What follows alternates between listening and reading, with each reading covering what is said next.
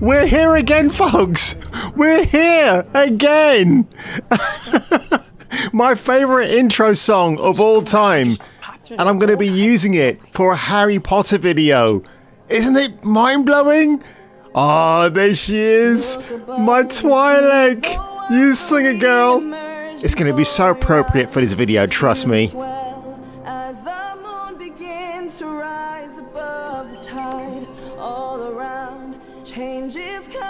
Ooh. Come on, baby, hit me. Hit me one more time, Brittany.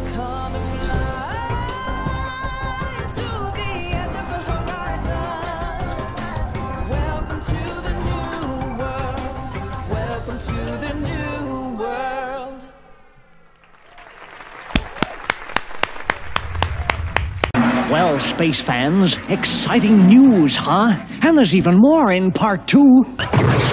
Hello, this is your television speaking. Let's push the button marked idiot and see what comes out. You're tired. You should go to sleep with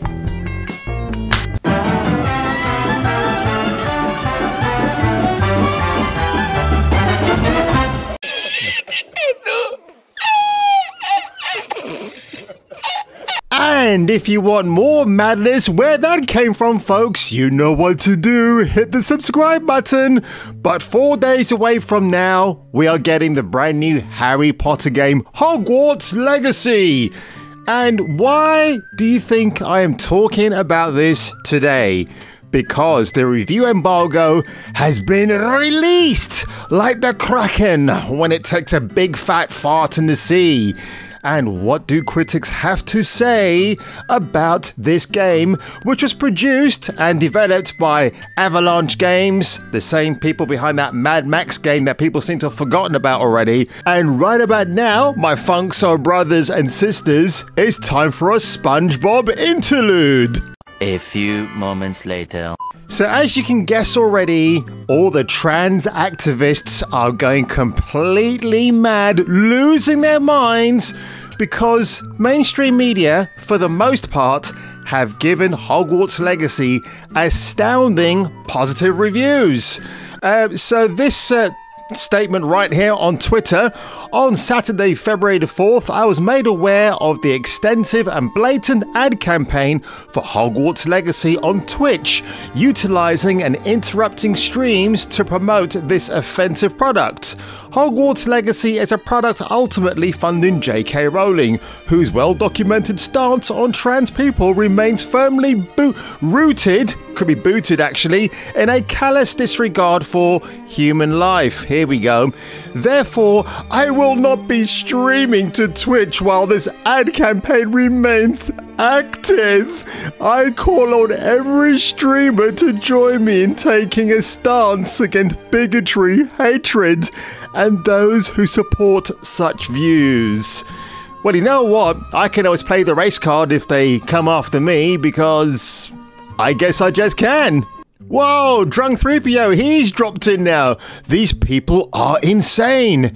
Yes, my friend, indeed they are. and great content. YouTube. Let's go! Awesome. Yeah, Dreamcast guy. What? People are giving this an 88 on Metacritic? I'll get to that part in a moment. Trust me, I will. but this is absolutely glorious. I saw a really funny GIF for this game actually, and I don't know how oh, it's all of a sudden now it's just completely vanished. I had all these things bookmarked and it's all gone to sunder. So German Strands, Hogwarts Legacy Reviews, hashtag PS5, Carol Quintain, 10 out of 10. New PlayStation, as opposed to a new PlayStation, 10 out of 10. Glitch Africa, pretty much the same. PSU, 9.5 out of 10. You forgot the 5 there for some reason, guys. Uh, Tiara or Tiara Gamer, 9.5. Oh, it's them again, beg your pardon. Oh, oh, oh. Uh, IGN, 9 out of 10. Why, you couldn't give it a maximum 10 out of 10 IGN? IGN Spain, 9 out of 10. PSX Brazil. You kind of get the drift right. Everybody is giving this thing more than a 8. Well, I do say that because I found somebody online who, when you see who they are, you will be, it won't be a surprise at all. But here we go to this little strange person right here. But before I get to them, Hogwarts Legacy is mm-hmm. becoming a perfect demonstration of Yes. how the activists on Twitter have only as much power as they're given. Despite a months long sustained campaign to bully and silence anyone speaking positively about Brianna the upcoming Wu. release, Not it's really a currently woman. sitting in the number one spot on Steam. I'm sure J.K. Rowling is devastated by the boycott. that's a good one of Woody Harrelson. topic Uh doesn't oh. seem to die, so let me make something very clear. If you buy the Hogwarts Legacy, Yes. game, you are contributing to transphobia. I am. Even if you consider yourself an ally, even if you yourself are trans, you are contributing to transphobia. And that is not an not. opinion, it's a fact. J.K. Rowling, both through the words she says and direct financial contributions, is signal boosting and enabling multiple groups and individuals who are actively pushing for the stripping away and restricting of rights of trans people, especially in the UK right now. And it's working. If you pay for that game, you're contributing. Well, what about that bill in Scotland where they wanted kids from the age of 16 to consider becoming a trans teenager? And thankfully, our Labour and Conservative governments came together to say, uh uh, not happening, you can't do that. But this freakazoid right here is saying, well, if you buy the Hogwarts game, you're supporting trans. But if you buy this game, you're supporting J.K. Rowling and anti trans views. J.K. Rowling actually does stand up for those views. She just had one point of view that rings true that there's only two biologies in this world. You know, you can't have somebody saying otherwise because it just ain't gonna happen, is it? Let's carry on when what this freak show has to say now. that. Rowling has made it very clear she believes every penny of the residual checks that she gets to be proof that people support her and are fine with what she's doing. And no matter what other rationalizations you have, oh, I'm supporting the devs. I just really love this universe. That's Hey, listen, you can't blame the devs. I mean, they've this Avalanche Games have got a good relationship with Warner Brothers. Warner Brothers ain't a chicken change company, if you know what I mean. So they got the money. They want this game to hit it out of the ballpark because I guarantee you there are going to be sequels galore coming out for this game. And I suppose by that point, these trans activists will have got a little bit more long-winded tooth. Some might need a wheelchair to go around with, and who's going to carry on their legacy and their fighting cause afterwards? Oh, let me see. Um, nobody. fine, but you are also contributing to transphobia. Although, note I said if you buy it, not if you play it. There's a debate to be had about big streamers, whether they should be boosting it, but for your average person, if you find a way to get it without paying for it, well, it's a topic. I'm not sure what uh, Pirates of the Caribbean. Oh, I see. Yeah, because you can pirate the game. Does this bozo know that if you try to pirate Hogwarts Legacy, I'm estimating it's probably going to be over a hundred gigabytes in size. So if you got a computer to support that and that can run it, well, good luck to you. But I, you know, it's the best-selling game so far this year on Steam, PlayStation 5, Xbox One. So I'm not so sure why people are thinking this is. Yes, you know, if he's endorsing piracy, okay, and I've often endorsed it on my channel here, so don't want to be a hypocrite. Uh, these people have nothing better to do, really. But I salute you, sir. Abe Froman, the big sausage king of Chicago. So let's just have a quick look at the reviews right here. So, Het, Newers Blood. Warner Brothers announced this game with much fanfare a long time ago, but Hogwarts Legacy lives up to all expectations. You can lose yourself for hours in the world where years later, Harry Potter will also have his adventures. If we could take two weeks off just for this game, we would do it in a heartbeat. Hogwarts Legacy has us spellbound like Elizabeth Hurley, and we never want to go back to the Muggle world. PlayStation Universe. Hogwarts Legacy is a compelling fantasy RPG packed with stunning scenery, memorable characters, and fantastic combat.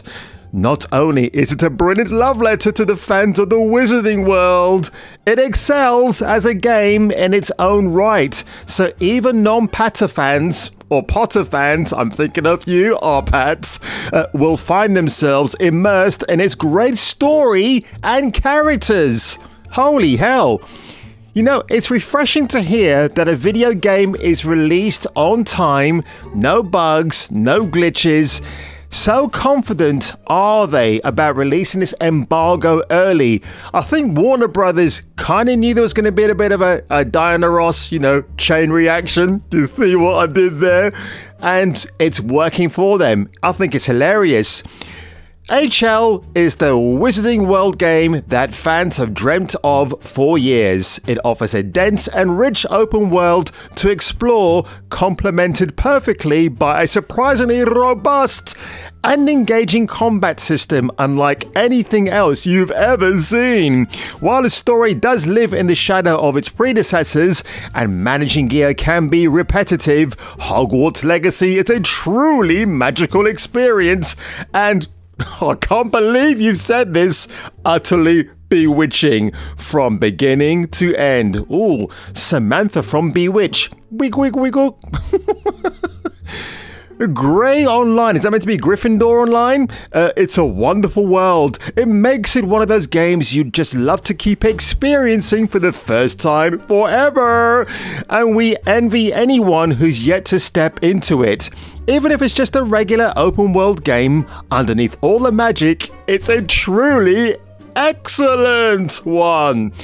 I think this is so fantastic. I mean, you know what?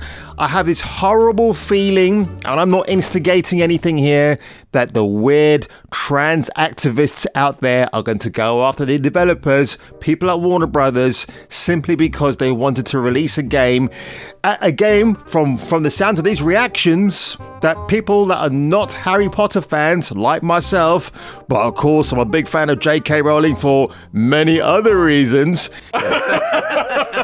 Bring us in. It's going to create a new fan base. And what? You're going to go after the people that buy the game? Huh? Hmm? Really? Wow. I've even heard this very egregious thing that if streamers who play this game online, they're going to be targeted, they're going to be cancelled because some bluehead freak out there has devised a website. And I think it's something called. Um, uh, who's streaming the Harry Potter, the new, who's streaming the Hogwarts Legacy game, something like that. People haven't got anything better to do in their lives. But here we go, surprise, surprise, The Guardian. They've given it a score of 60. Hogwarts Legacy starts to feel like countless open world games of the past decade once you've been playing it for more than 15 hours. However, you got to ride or get to ride a hippogriff. It's those magical moments and the setting that rescue it from mediocrity. Ah, and when you see who's written this, it's Keza MacDonald. And who is she? Well, I knew the minute I saw her name. She used to be a reviewer at Kotaku, then IGN, and now she's with The Guardian. Holy hell, how the mighty hath fallen. So, I'm going to sign this video off, folks, in the way that I normally do. Are you going to be picking up a copy of Hogwarts Legacy when it's released on the 10th of February? I believe I am. So, I can't wait to see what happens there. And you may have noticed that I've done a bit of house spring cleaning on my YouTube channel just to wind people up because I think it's going to be such a wonderful, wonderful look for my channel. I can't wait. oh, and I think I might just even leave it that way forever and ever. Amen. So, folks, if you enjoyed this video today, I know I'm kind of losing my mind at the moment at this meltdown. It's wonderful. Please leave a comment below. Please leave a like. Please share this video because YouTube, for some reason, are just uh, stunting the growth of my channel because they like to do that because YouTube are a bunch of morons every now and then. I'm sorry, Susie Wojcicki, but you're not returning my phone calls, love. And on that one, if I were you and if you were me, you better come back for the next video. I'm Bill S. Preston, Esquire. Yeah. Dude. And I'm Ted, Theodore Logan. And together, we, are Wild, Stallions. Yeah.